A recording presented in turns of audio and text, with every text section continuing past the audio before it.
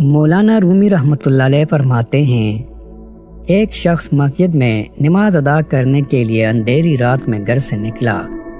अंधेरे की वजह से ठोकर लगी और वो मुँह के बल कीचड़ में गिर गया। कीचड़ से उठकर वो घर वापस गया और लिबास तब्दील करके दोबारा मस्जिद की तरफ़ चल दिया। अभी चंद कदम ही चला था कि दोबारा ठोकर लगी और वो फिर से कीचड़ में गिर गया। कीचड़ से उठकर वो एक बार फिर घर वापस गया और लिबास तब्दील करके मस्जिद जाने के लिए दोबारा घर से निकल आया। अपने घर के दरवाजे पर उसे एक शख्स मिला, जो अपने हाथ में एक रोशन चराग तामे हुए था। चराग वाला शख्स चुपचाप नमाजी के आगे आगे मस्जिद की तरफ़ चल दिया। इस बार चराग की रोशनी में नमाजी को मस्जिद तक पहुँचने में किसी किस्म की दुश्वारी का सामना नहीं करना पड़ा। और वो बहेरियत मस्जिद तक पहुँच गया।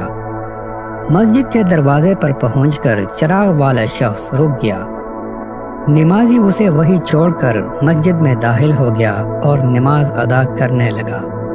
नमाज़ से पार होकर वह मस्जिद से बाहर आया तो उसने देखा कि चराग वाला शख्स उसका मुंतजर है ताकि उसे दोबारा चराग की रोशनी में घर तक छोड़ आए। जब नमाजी घर पहुँच गया तो नमाजी ने उस अजनबी से पूछा, आप कौन है?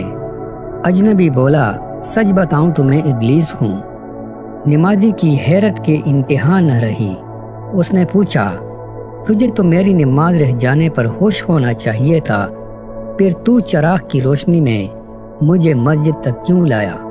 इबलीस ने जवाब दिया, जब तुझे पहली ठोकर लगी तो अल्लाह ताला ने तेरी उम्र भर के गुनाह माफ़ फरमा दिए।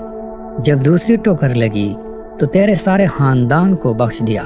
मुझे फ़िक्र हुई कि अब अगर तू ठोकर खाकर गिरा तो कहीं अल्लाह तेरे सारे गाँव की माफिरत न फरमा दे।